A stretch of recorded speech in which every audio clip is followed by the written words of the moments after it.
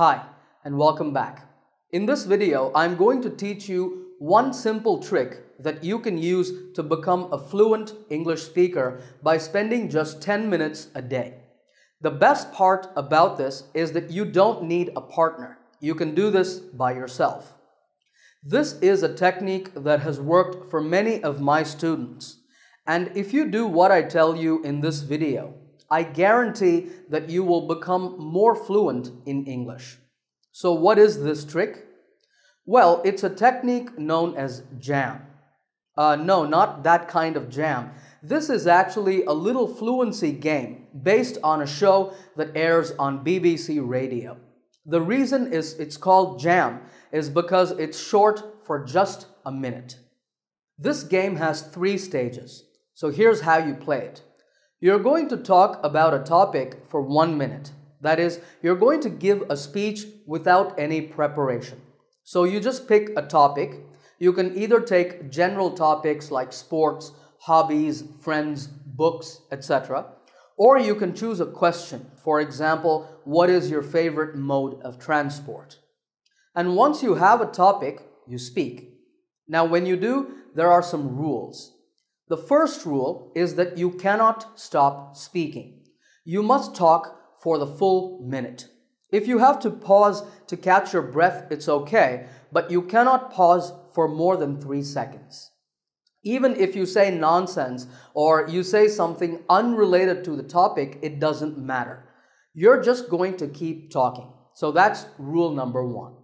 Rule number two is you cannot repeat the same ideas.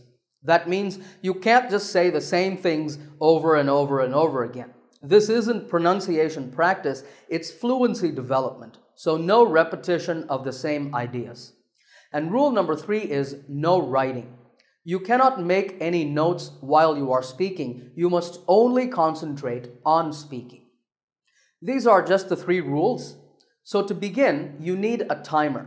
This can be on your smartphone, for example. You start stage one by starting the timer and you speak until the one minute is reached. I'm going to give you an example of how to do this. I'm going to take this question, what is your favorite mode of transport? And I'm going to speak for a minute on this topic. Now, I haven't done any preparation, so let's see how I do. Okay, so what's my favorite mode of transport? I would have to say that it's the train. That's because um, uh, actually you get to see a lot of nice scenery, beautiful landscapes and things like that. And uh, you know, uh, train journeys uh, generally tend to be longer than other types of, or, um, or, or, rather other modes of transport. You can see that I'm really struggling for ideas, but I can't stop. I have to keep going. So I'm saying whatever comes to mind. That's no problem. But uh, back to the topic at hand. Yeah, train journeys, because they're longer, uh, they're more relaxing. And uh, one last thing I want to mention is that I've had the opportunity uh, to meet interesting people and uh, make friends on many train journeys. As a kid, I used to ride the train a lot with my family. Uh, we used to um, uh, we used to go to a lot of places by train, and it's actually something that I I really enjoyed. Phew, that was hard, but that's okay. That's the whole point of this exercise. That was stage one. Now we're going to move on to stage two. Here's where we're really going to start building our fluency. The first part of stage two is making notes. So you can use a paper and pen now.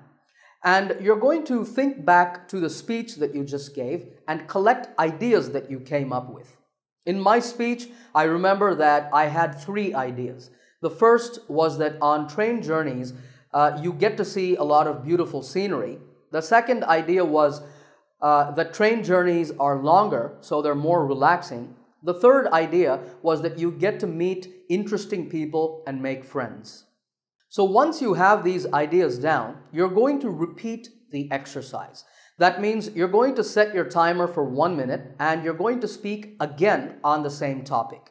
But now you can use your notes to guide you.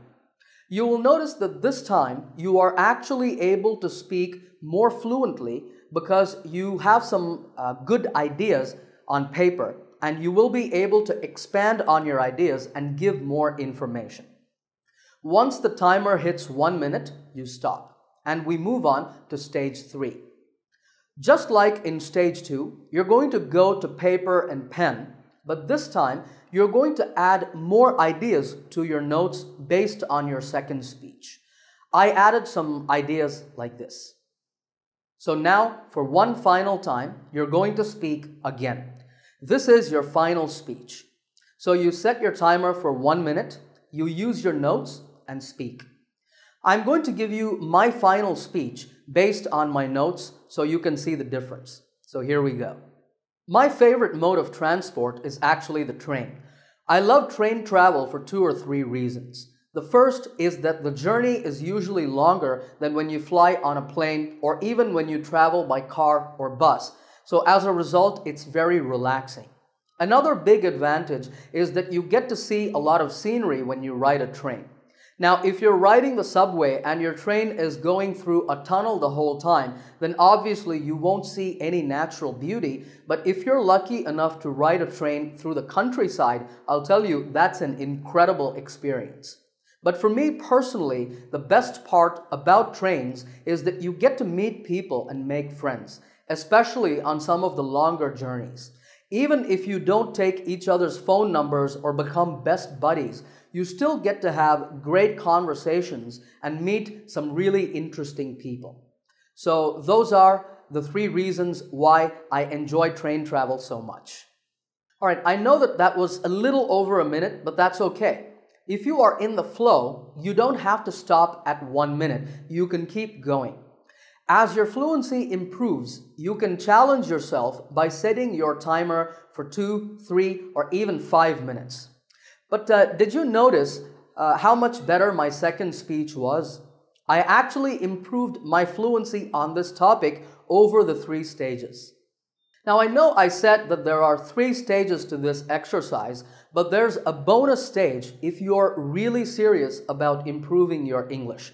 That stage is record yourself.